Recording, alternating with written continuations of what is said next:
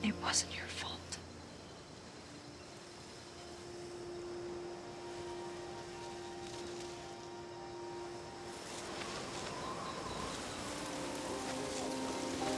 Oh,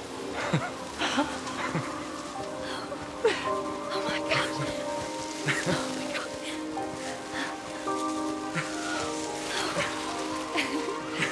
oh,